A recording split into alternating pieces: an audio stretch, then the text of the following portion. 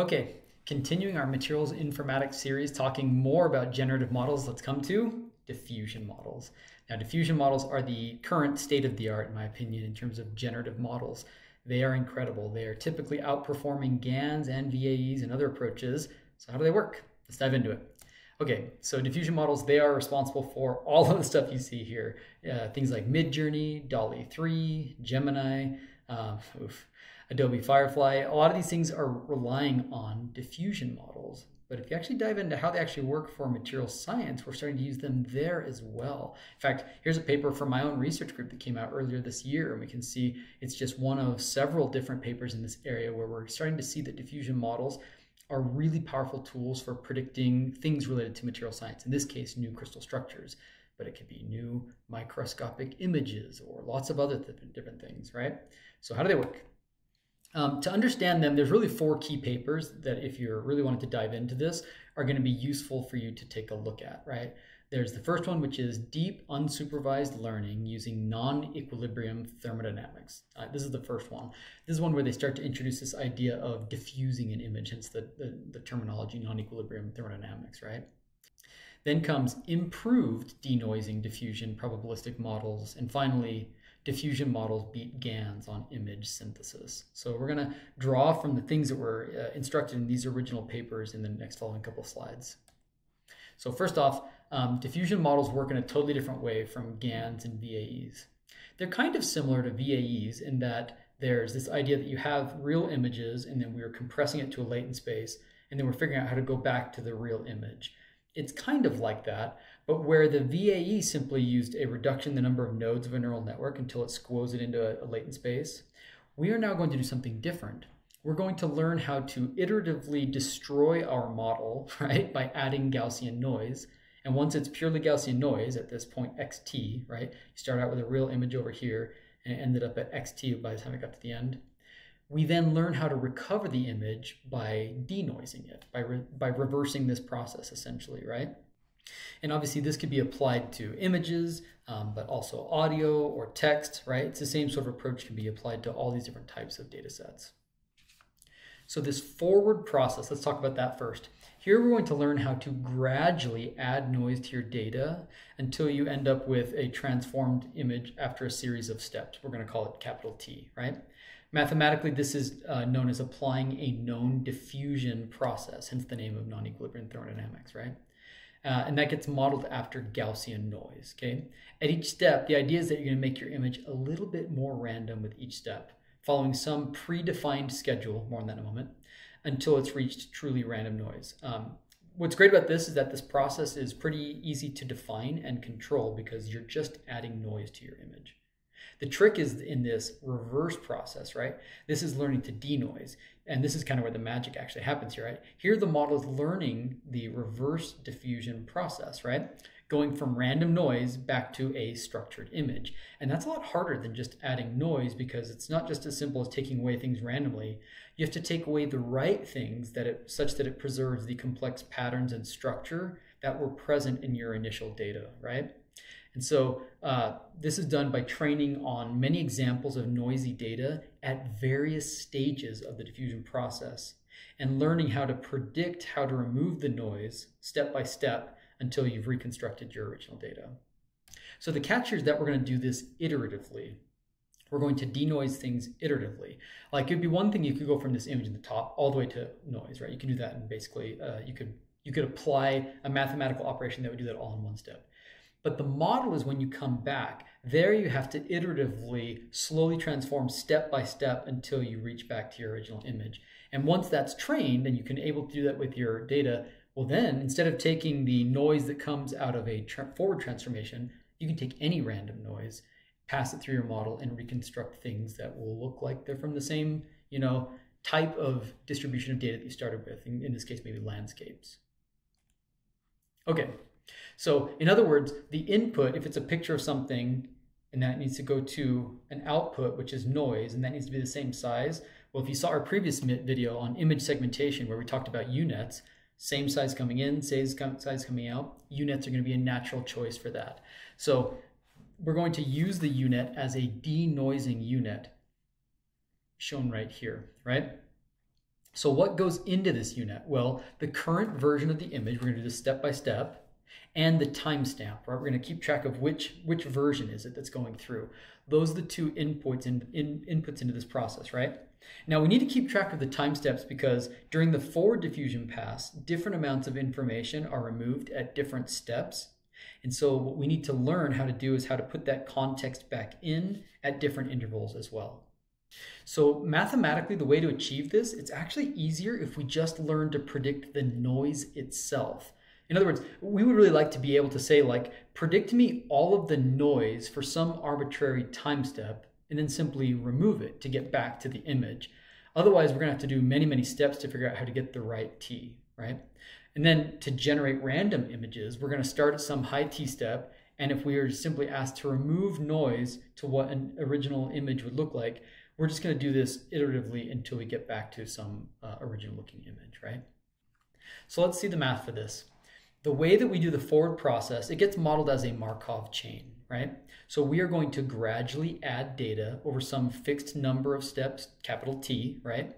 Therefore, our original data, which was X at some time zero, it's going to be transformed in, by this process to a series of data, right? We're going to now have a series of versions of our data where it's going to exist at X0, xt minus 1, xt, some arbitrary value, all the way up to capital T, right? We're going to have a large number of steps of the data being transformed. And each step of this transformation, we look at it mathematically as being, okay, the value at some step in this process, t, is going to be equal to the square root of 1 minus beta t, where beta is our variance schedule, more than a second, times what the previous image looked like. The step at xt minus 1 gets multiplied by this variance schedule, basically, and then we're going to get, adding to that, our variance schedule square root times epsilon t, where epsilon t is just the noise which is drawn from a Gaussian distribution, okay? So what do we use for this predefined variance schedule? Well, you've got a lot of options, right? It's, it's certainly very important because it's what dictates how much change happens in your image uh, throughout the process of each one of these steps, right? It's typically small. You don't want to do dramatic changes. You want to do small changes and let them maybe get larger over time. And the process whereby that happens can be fixed or it could be learned from a neural network. But the idea is that you want to cumulate the cumulative effect of adding all these things should be the overall noise at the at the final step, right? And if chosen correctly, then this variance schedule should ensure that xt, your final step, you should be left with just an isotropic Gaussian. Uh, and this happens at some sufficiently large number of steps t. So originally they did linear steps, right? And you can see that really quickly, if you add noise in a linear amount, your image rapidly disappears. And so scaling it back was kind of a wise way. This was an OpenAI paper that did this to destroy your image more slowly, which makes it easier to unlearn it as well, because it's sort of a more uh, uh, reasonable amount of change happening each step rather than trying to learn it all at once. Okay, so then the reverse process is simply trying to recover that original data. And the steps mathematically look as follows, right? Now, in order to get an image at xt minus 1, that's going to be equal to 1 over 1 minus the square root of 1 minus your variance schedule, beta t. This all multiplied by whatever your previous step was, xt.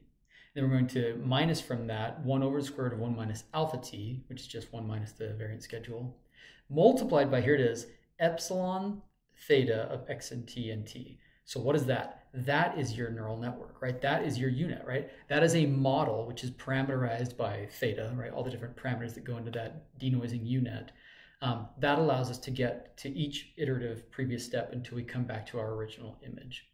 Therefore, training the diffusion model is about training it based on the noise, right? The training objective is going to be to minimize the difference between the true noise, epsilon t, and the noise that is predicted by our model, epsilon theta, of the previous step and some time step, okay? So we can do this lots of different ways, but typically it's going to be something like a mean squared error. We're trying to minimize that loss, okay? All right, so given that mathematical description, there's another way of doing this. And why would you bother? Because you can also do this in a probabilistic framework. So you might be saying like, well, we are, I, I liked my math before. I don't want to do probabilities, but there's a reason. Bear with me, I'll explain why. If you treat this in a probabilistic framework, it actually gives you an advantage. So it's going to be very similar, right?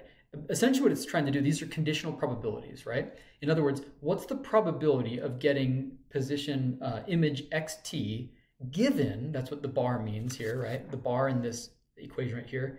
The vertical bar means what's the probability of achieving some value at xt given that you knew the value at the previous step?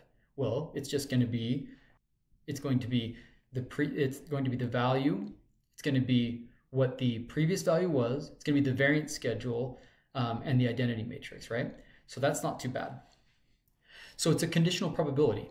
Figuring out what the image will look like at step t, all we need to know, if we knew the value at t minus 1, it's coming from a normal distribution where we're given the, the mean, right, and the covariance, right? You knew what the value should be, and you know what the variance ought to be, right?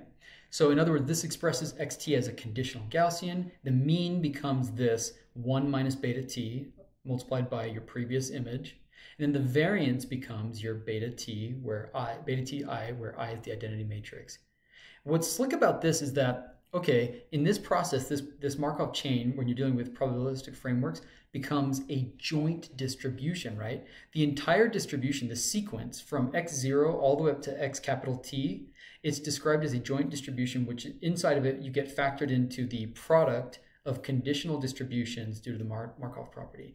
So you might be thinking like, why do I care about that? What's the benefit here? The benefit is that this allows us to avoid doing it step by step for many steps because mathematically we can do a trick, right? This conditional probability is simply equal to this right there. We can, we can skip all of the steps, um, which is going to be to our advantage here. Then we come to denoising, right? So in denoising, now we're doing the opposite. You're saying, okay, well, what's the probability of getting this t minus 1, given what we knew at the t step, the same things before. Okay, that value is going to be equal to something based off of a mean and a covariance. But this time, the mean and the covariance are parameterized by the model. These are learned by training our denoising U-Net, right? All right. And then the the distribution, since we have a we're now treating things in terms of distributions, we have a different loss function. It becomes evidence lower bound instead of a simply MSE, but it's it's the same approach that we've seen before. What's cool about this is we can also do guided diffusion. So let's say in material science, you introduce a bunch of different crystal structures and you encode them, and then you do this whole process of diffusion where you turn it into ZT or latent space, which is now random isotropic Gaussian. And then we have our denoising U-Net, which learns how to go back to a material that looks real. And now you've got new crystal structures, which you could then sort by stability or whatever else. But you can also condition it. What if instead of just making new materials, you guide it based off of properties or synthesizability or stability or chemical or structural novelty? We're starting to see things, including work from my own research group at the University of Utah, where that conditioning becomes proper uh, possible so that we can generate not just random materials from our distribution, but specific materials that match your design criteria. Okay, so there's different ways that we can do guided diffusion, right? Uh, a lot of this comes from this paper, Diffusion Models Beat GANs on Image Synthesis. So, for example, uh, this was first proposed in that paper, and it can be conditioned off of anything text, image, class label, whatever you want, right? So, let's consider class label for a moment. If you train a classifier to predict a class given some x and t, right? For example, just like we can train a, a neural network to predict is there a dog in this picture or not? Like that's the label, like dog versus cat, right? And then you take your classifier and you train it on noisy images. The noise prediction becomes theta epsilon theta minus 1 minus alpha t, the gradient x of t log f of the conditional probability of y given xt, right? So this is called classifier guidance. In other words, the noise becomes about maximizing the likelihood of a class label prediction for some given x of t input, okay? What's kind of cool is that you didn't actually have to have a separate classifier model to do this. This was also proposed in that paper. Um, they avoid training a separate classifier and they instead, they take the class label y during training, but during training, they replace that label y with a null label. And then during sampling, they basically compare the performance um, of what it should be versus what it actually did with the null label. So this is called classifier free guidance. There's other ways that you could do this um, guided diffusion process right? So uh, you could use text, for example, and this was shown in the GLIDE paper. Essentially here what they're doing is they're using CLIP as a measure of similarity between a text input and an image input. So this was a pre-trained network where they had images and text descriptions of them. Then they take the dot product between the image and the text, and this is used as the score for the gradient. And then in Glide, they retrain CLIP on noisy images, right?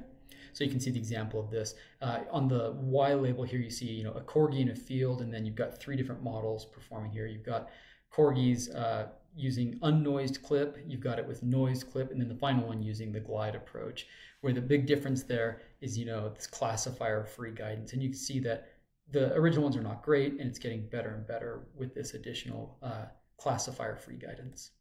And then the last thing that people are, I'm seeing a lot of in this field is image to image diffusion, where the input is now not just um, text or a property or something, a label. Instead, it's an in, it's an image that comes in, and out comes a, ver, a, a, variation of that image, right? So in comes a picture of a person, out comes a picture of that person as a superhero, for example. That's an example of image to image diffusion. So the image becomes our condition, which gets concatenated uh, to this process of diffusion. So we're starting to see lots of really cool examples. We'll probably do a follow-up video where we apply these just to crystal structure predictions because things like well, our own work, CDVAE, um, MatterGen, and others are making a lot of waves. But that's the underlying principle of how diffusion models work. Okay, next up, let's dive into Bayesian inference.